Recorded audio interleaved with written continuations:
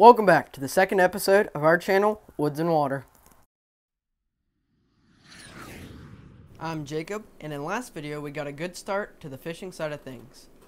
But in this video, we're going to be catching up on the hunting and me ending the story of a giant buck I like to call Horny. But before we get to watch a set of antlers hit the ground, let's go back to where it all began. It all started back on December 26th, 2011. It's the date that I killed my first deer, and that day has impacted me my whole life, and um, it'll impact me for the rest of my life. It's made me who I am, and since then it seems like I'm never out of the woods, and whenever I'm out of the woods, I'm always fishing and doing all kinds of other outdoorsman stuff.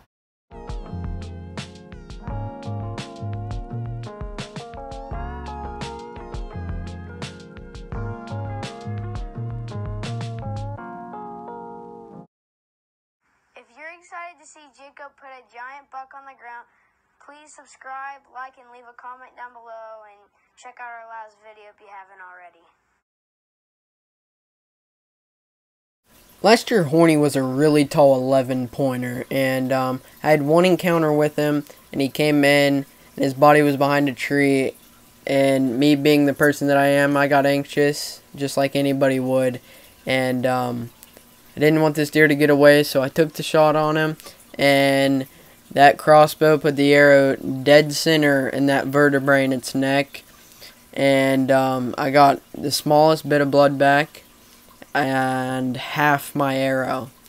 Um, the rest of that season, I didn't get another picture of him.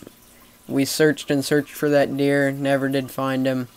But um, I had no expectations of ever getting another picture of this deer. But um, going into the 2019 season, first trail cam pictures we check of the year, he's there. He's big as ever, really wide and uh, he's got stuff going everywhere. He got wounded last year, and uh, he grew he grew stuff everywhere. So um, going into this season, I wanted him worse than ever, just because the memories behind this deer, and um, I'll go in on Friday, put out some corn and some crush, and check the cameras, and he's there 30 minutes before daylight with some does and a spike. And um, I go in the next day at 2.30.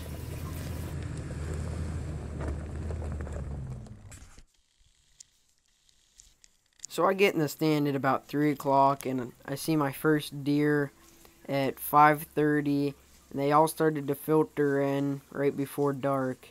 And um, I knew if this buck came in, it was going to be low shooting light but um, while all these deer are sitting around me, I took the advantage to get some cool footage of these beautiful animals doing what they do best.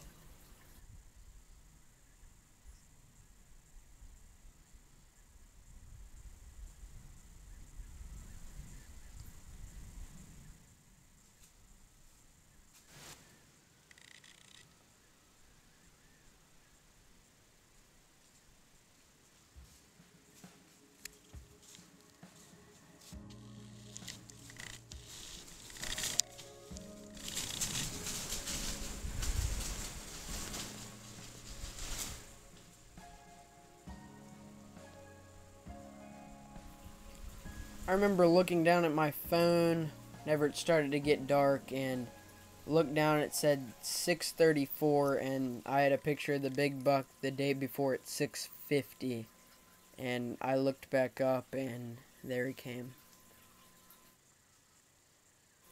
As soon as I saw him, of course I started shaking and reached over, turned the camera on, and as soon as he walked in the field of view, I mean perfect 15 yards right in front of me. I let him have it. Mm.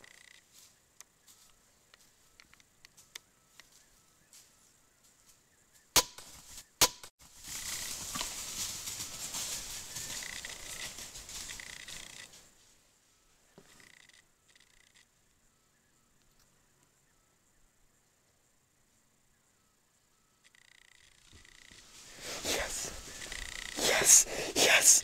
Oh, my killed him. I got him. Oh my god. Oh my god.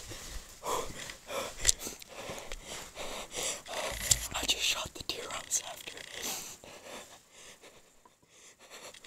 Oh my god. I just shot Horny and he just fell right in front of me. Oh my god. Oh my god.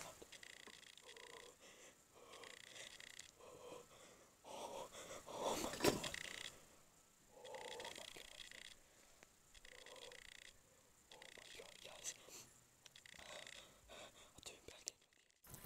Still kicking myself for not getting any footage of me going up to this deer, but um, after I shot it, I went back up to the truck and met my dad, and he actually killed a buck that he was after too, and we met up, and we went down and got this deer, and I was, as you can tell, I was very happy.